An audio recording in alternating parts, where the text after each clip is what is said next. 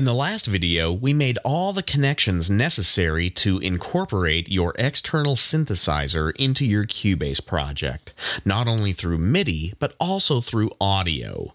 And now in this video, I'm going to show you the final step to make this whole process complete. So in the last video, we were able to record MIDI and play back the MIDI tracks through the audio monitor channel so that we could hear it. And let's just press play now and make sure that we can hear all of that instrumentation in our Cubase project.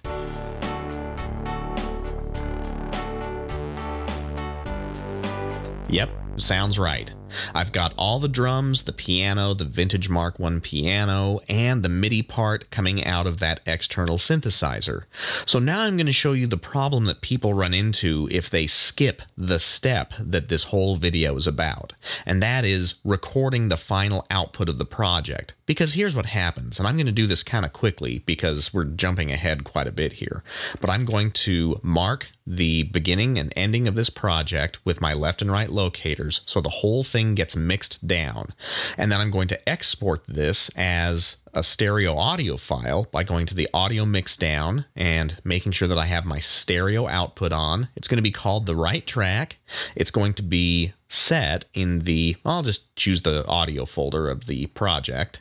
And it's going to be 44.1 in 32-bit mode, and I'm not going to have it open in Wavelab when it's done exporting, then I'm going to hit the export button. And this process is what you would do to export or burn onto an audio CD or export as an MP3 file.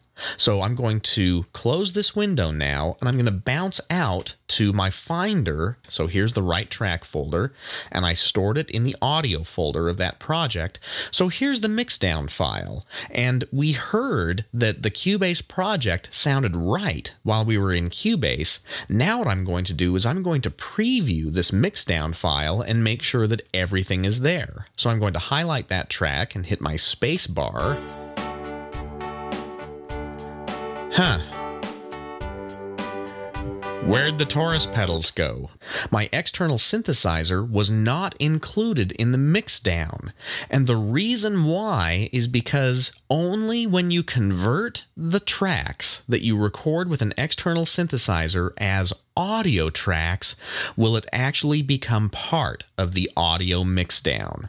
So I can't use this track to make an MP3 or burn onto an audio CD because it's not complete.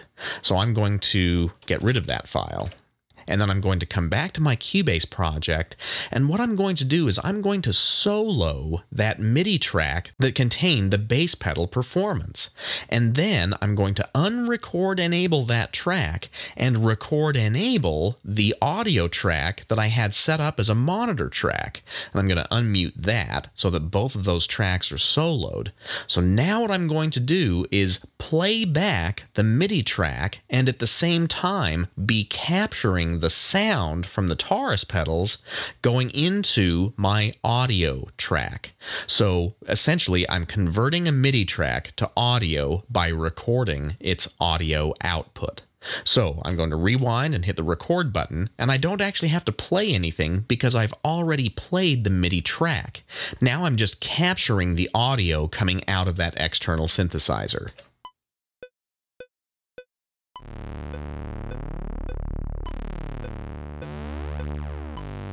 You can see that the audio is being recorded.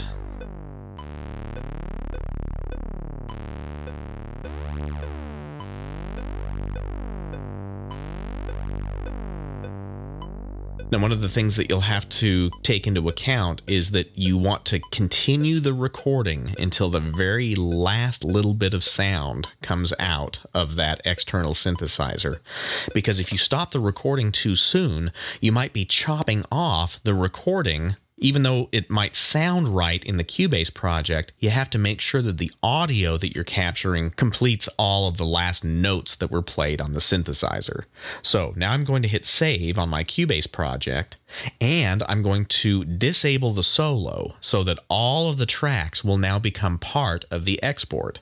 I'm also just going to make sure that I don't have the monitor on anymore because this is now its own audio track. So you can either turn monitor off or sometimes when you hit the record enable button on the track, it will also turn the monitor off automatically. But just verify that your audio tracks are not in monitor mode. If you don't, this track may not make it to the export. So now I'm going to rewind all the way. I'm going to move my left and right locators around the entire project because this new segment goes a little bit further than the rest of these tracks. And now I'm going to perform the same audio export to mix this project down. So I'm going to call it a different name just so that you can see what's going on here. I'm going to call this the right track R1 for revision 1. And then I'm going to export the project. And now this time it's going to incorporate that new audio track that was made from the output of the external synthesizer and it's going to include it in the audio mixdown. So I'm going to hit the cancel button, pop back out here to the finder. Here's the new The Right Track R1 stereo mixdown file. When I preview this file by clicking on it and typing my spacebar,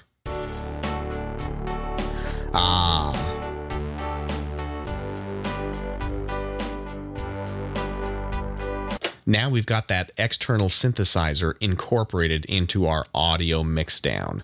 So that's an extra step that you'll have to take when you're using external synthesizers with their own sounds. You have to convert the MIDI tracks that you've recorded into audio before you can perform the audio mixdown.